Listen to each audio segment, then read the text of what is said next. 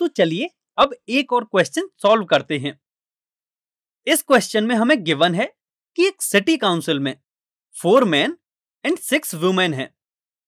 अब यदि इन सभी में से randomly one council member select किया जाता है तो इसके कितने चांसेज हैं या इसकी प्रोबेबिलिटी क्या होगी कि जो सेलेक्ट किया गया मेंबर है, वह वुमेन है?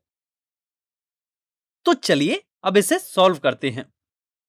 हमें दिया गया है कि सिटी काउंसिल में four man and six women हैं।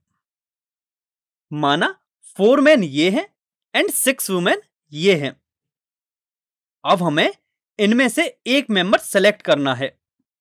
सो so, इस रैंडम एक्सपेरिमेंट का सैंपल स्पेस यह होगा। अब हमें इवेंट दिया गया है कि सेलेक्टेड काउंसिल मेंबर एक वुमेन है। तब माना यह इवेंट ई है। इवेंट ई e इस सेट के इक्वल होगा।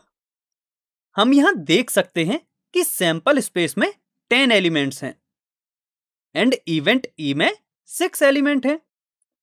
अब हमें इवेंट ई e की प्रोबेबिलिटी फाइंड करनी है, जो कि सिक्स बाई टेन के इक्वल होगी एंड जब हम इसे सॉल्व करेंगे then we get three by five